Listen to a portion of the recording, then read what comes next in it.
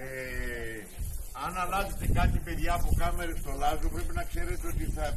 Κώστα, αν αλλάζετε κάτι στο Λάζο από θέση να ξέρετε ότι εγώ θα, βρε- θα ήθελα να έχω το δικαίωμα να πάρω πολλές συλλήψεις. Εντάξει, καλά. Δεν θα έχεις.